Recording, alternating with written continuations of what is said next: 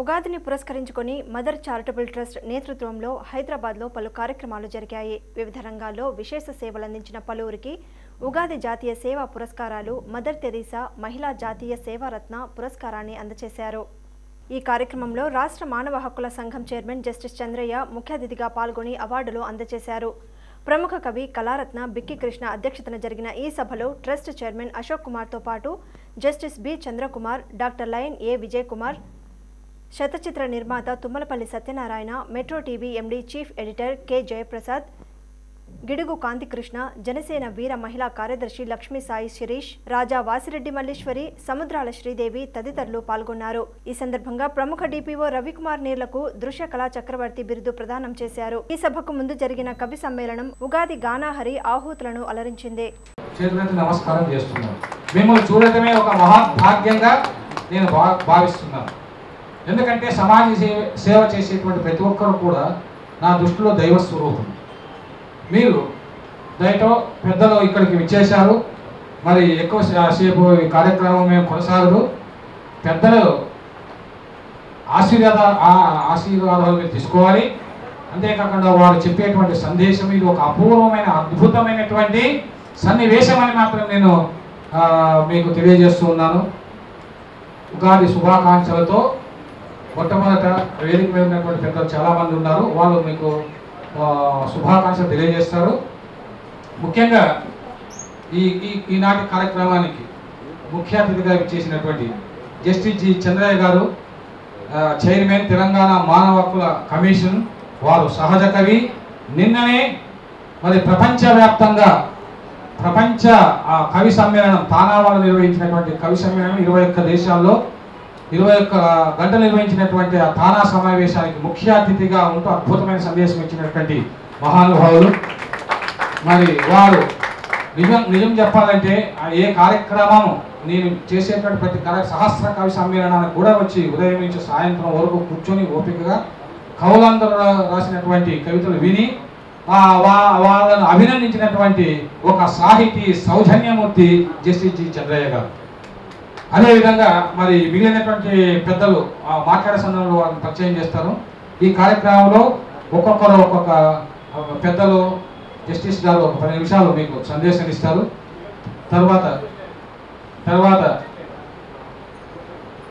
తర్వాత ఇప్పుడు లయన్ విజయ్ కుమార్ గారు మరి ఆయన రెండు వందల కోట్లు దానం చేసినటువంటి ఒక దాన కర్ణుడు క- కానవాళ్ళు దాంట్లో కూడా రెండు ముక్కలు మాట్లాడే భాగ్యం కల్పించారు మా కృష్ణ.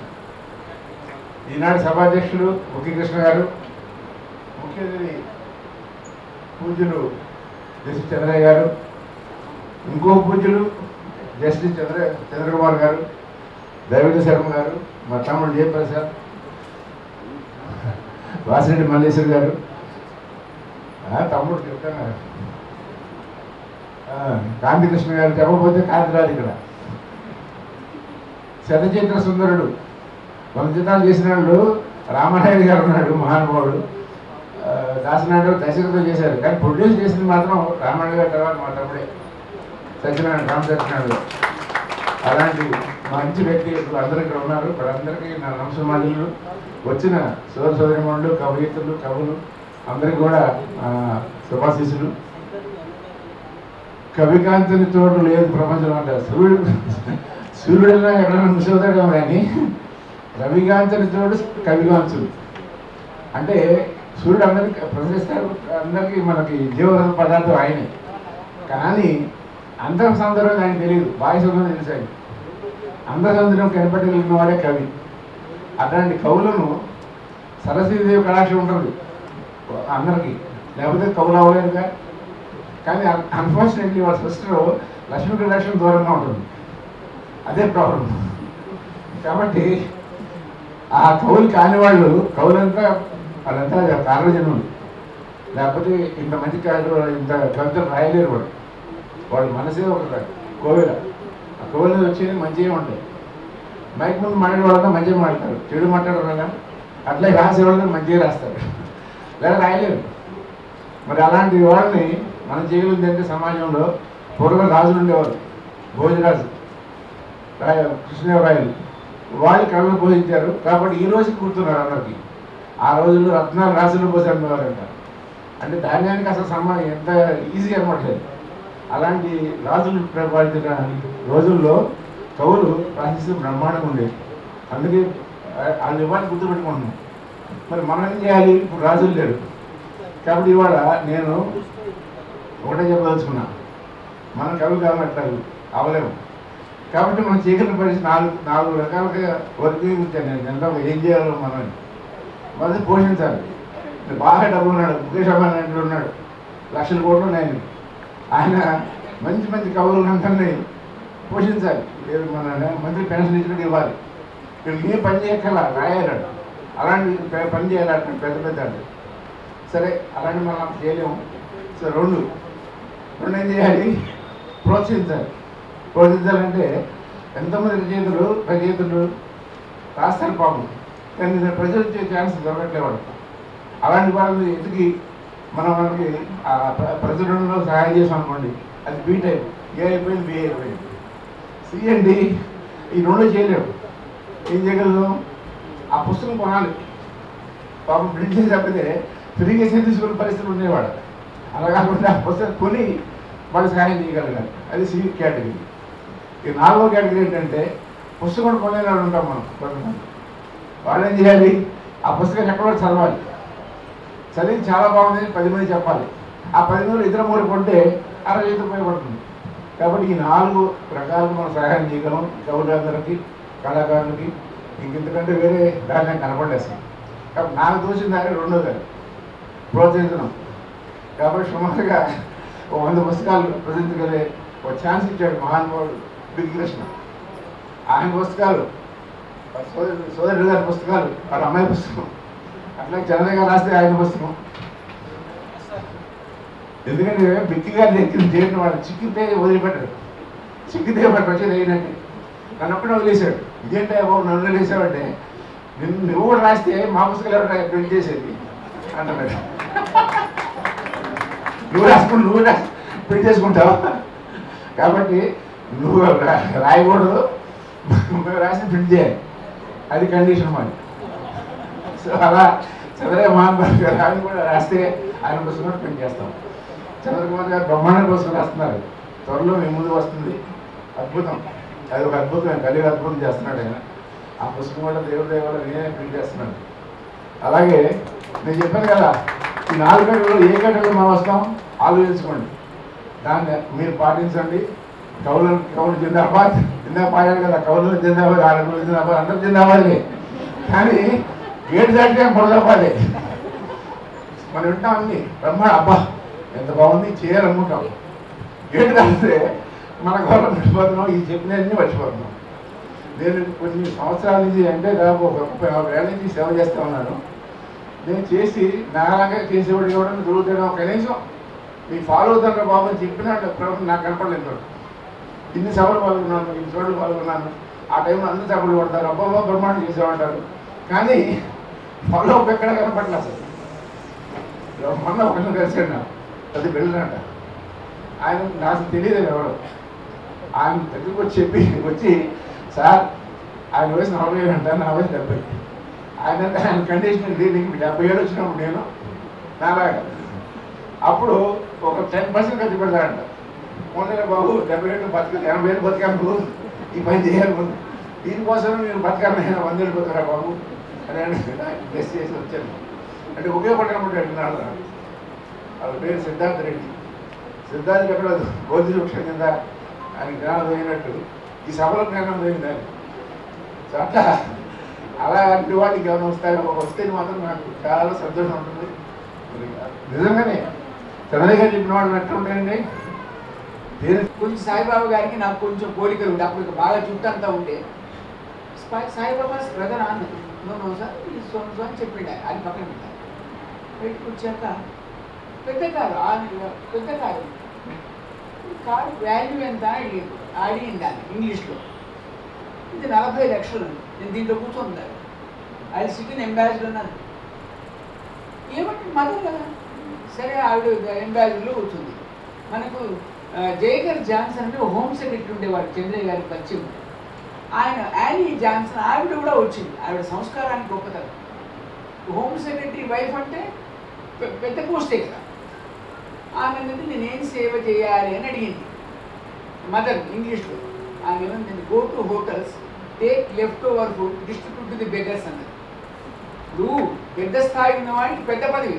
ఆమె ఏమంటే నువ్వు మిగిలిపోయిన అన్నాన్ని తీసుకొని పేదలకు పంచమని. అంటే దయాగ్ర హృదయ అందుకే జెఫ్రీ ఆర్చర్ ఒక గొప్ప మాట ఉన్నాడు భారతదేశానికి వస్తే ఎవరికి దండం పెడతారు అంటే ఒక పుస్తకానికి ఒక నదికి ఒక వ్యక్తికి ఇంకొక వ్యక్తికి అని. పుస్తకం భగవద్గీత నది గంగా నది వ్యక్తి మహాత్ముడు మదర్ తెరిసా అది భారతదేశానికి వస్తే మీరు ఏం చేస్తారంటే గంగానది దండం పెడతా జ్ఞాన భండాగారమైనటువంటి భగవద్గీత దండం పెడతా మానవీయ విలువలకు రూపశిల్పైనటువంటి మహాత్మా మహాత్ముడు దండం పెడతా. భాషకు ఒక పట్టు కొమ్మగా నిలిచి ప్రాముఖ్యమైనటువంటి సంస్థగా వెలుగుతూ వెలుగొందుతున్నటువంటి సంస్థ తానా సంస్థ ఈ తానా సంస్థ వారు కృష్ణ గారి ఆలోచన మేరకు ఆరు వందల ఎన్జిఓస్ను భారతదేశంలో ఏకం చేసి కవి సమ్మేళనాలు నిర్వహించి కవులను ఏకం చేసి కవిత్వం రాయడానికి పురికొల్పి అంతర్జాతీయంగా ఇరవై ఒక్క సంస్థలు ఇరవై ఒక్క దేశాలు ఇరవై ఒక్క గంటలు అనర్ఘనంగా కవిత్వాలను చెప్పించి కవిత్వాలను వినిపించి నిద్ర మర్చి ఆహారాన్ని మర్చి అందరికీ తెలుగుతనాన్ని మరొకసారి పంచిననేటటువంటి సంతోషంతో మరొకసారి ఆ జ్ఞాపకాలు మరొక ముందే మరణం చేసుకుంటున్నటువంటి తరుణంలోనే మరొక గొప్ప కార్యాన్ని తలపెట్టినటువంటి సంస్థ ఎన్జిఓస్ నెట్వర్క్. దాని యొక్క అధినేత సోదరుడు లైన్ విజయకుమార్ అయినా దాని కర్త కర్మ క్రియ. దర్శకుడు బిక్కి కృష్ణ గారు. ఆ ఆలోచన ప్రక్రియ అతని మేధస్సులో నుంచి ఉద్భవించినటువంటి ఒక గొప్ప అంశం. దానికి మరొక రూపం దిద్దుకుంటున్నటువంటి ఒక గొప్ప కార్యక్రమం ఈ కవి సమ్మేళనం. అందుకని మీ అందరికీ ముఖ్యంగా కృష్ణ గారికి అభినందన తెలియజేస్తున్నాను. ప్లవనామ సంవత్సర ఉగాది సందర్భంగా మదర్ ఫౌండేషన్ వారు తెలుగు కవులకు బహకరించే పురస్కార మహోత్సవం ఈ పర్వదినం. అందుకే మీ అందరికీ ప్లవనామ సంవత్సర ఉగాది శుభాకాంక్షలు తెలియజేస్తున్నాను. శుభ పురస్కారాలు అందించే సంస్థకు అభినందన తెలియజేస్తున్నాను. అందుకునే వారికి ఆనందమైనటువంటి భావాలు తెలియజేస్తున్నాను. అందుకునే వారందరికీ ఆనంద చిరుజల్లులు కురిపిస్తున్నాను. ఆహుతులందరికీ ఈ అక్షరాంజలి బహుకరిస్తున్నాను. అక్షరం అందరిది కావాలి. అక్షరం అంధత్వాన్ని తొలగించాలి. అక్షరం అనుకూలతను కలిగించాలి. అక్షరం అనుభవాన్ని పెంచాలి. అక్షరం అడ్డంకులు తొలగించాలి. అక్షరం అందరం ఒకటేనని చాటాలి. అక్షరం అందరికి పంచబడాలి. అక్షరం మనుగడ సాగించాలి. అక్షరం జీవన మార్గం కావాలి. అక్షరం మానవత్వాన్ని చాటాలి. అక్షరం అమానుషత్వాన్ని దూరం చేయాలి. అక్షరం ఆత్మీయతను పెంచాలి.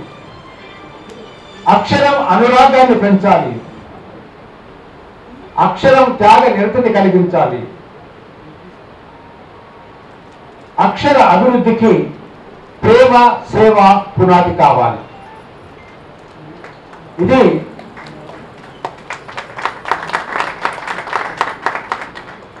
కవి కానటువంటి మామూలు మనిషిని కవుల మధ్యలోకి పిలిచినప్పుడు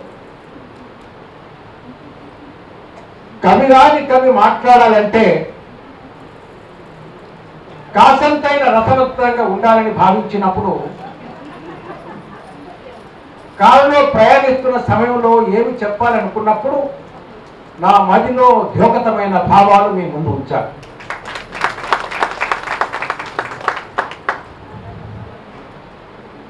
ఎన్జిఓస్ నెట్వర్క్ సౌజన్యంతో మదర్ చారిటబుల్ ట్రస్ట్ వారు రెండు కార్యక్రమాలు నిర్వహిస్తున్నారు. ఉగాది కవి సమ్మేళనం సందర్భంగా ఉగాది జాతీయ సేవారత్న పురస్కారాలు మదర్ తెరీసా జాతీయ మహిళారత్న పురస్కారాలు రెండు వేల ఇరవై ఒకటి. ఈ మధ్యలో ఈ మధ్యలోనే కాదు. గత మూడు సంవత్సరాల నుంచి ఎల్డర్ క్లబ్స్ ఆఫ్ ఇంటర్నేషనల్ అనే ఒక సంస్థ ఉనికిలోకి వచ్చింది. అది గత సంవత్సర కాలం నుంచి దాదాపు ప్రతి నెలలో వందలాది మంది ప్రముఖులు ఆయా రంగాల్లో సేవలందించినటువంటి వారికి సేవారత్న బిరుదులు అందజేస్తూ ఆ పని ప్రతి కార్యక్రమంలో నేనే ముఖ్య అతిథిగా ఉంటూ మాట్లాడి మాట్లాడి ఈరోజు వారితో మాట్లాడిన అనుభవంతో మీతో కూడా మాట్లాడుతున్నాను. కానీ జీవితంలో గ్రహించిన సత్యం ఏమిటంటే అనునిత్యం ప్రతి వ్యక్తి విద్యార్థి ఎంత గొప్ప మేధావి అయినా నేను మేధావిని అని చెప్పుకునేటటువంటి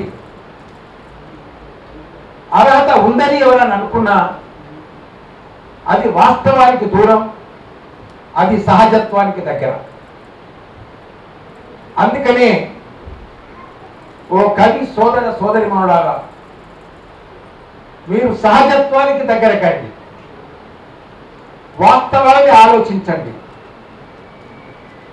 మనుషులు ఎదుర్కొంటున్నటువంటి సమస్యలకు కారణాలు వెతికి మనుషుల సమ మనుషుల సమస్యలకు మనుషులే కారణం అనేటటువంటి సత్యాన్ని గ్రహించి ఆ కారణాలను కవిత్వ రూపంలో ప్రజలకు అందించి మీ కవితలలో కేవలం సమస్యను వివరించడమే కాకుండా సమస్యకు పరిష్కారం కూడా చెప్తూ సత్వరుల యొక్క ఆలోచన శక్తిలో మార్పు తీసుకొచ్చి సమాజ మనుగడ ముందుకు తీసుకువెళ్ళడానికి సమాజంలో శాంతిని స్థాపించడానికి సమాజ అభివృద్ధిని ఆకాంక్షించడానికి సర్వ మానవులు ఒకటైనటువంటి మానవ సత్యాన్ని తెలియజేయడానికి కవిత్వం రాయాల్సినటువంటి బాధ్యత అవసరము ప్రస్తుత సమాజంలో రోజు రోజు పెరుగుతోంది. చేసినటువంటి మహోన్నతమైనటువంటి మానవతామూర్తి న్యాయమూర్తి జస్టిస్ చంద్రయ్య గారు.